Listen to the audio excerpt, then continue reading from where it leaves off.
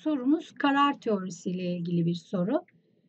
Karar verme sürecinde karar probleminin zaman içerisinde oluşturacağı sonuçlardan etkilenen sorumlu kişi genel olarak nasıl tanımlanır? A. Yönetici değil. B. Karar verici. Doğru seçeneğimiz B yanıtında yer, B seçeneğinde yer alıyor. Onu işaretlememiz gerekir. Müzik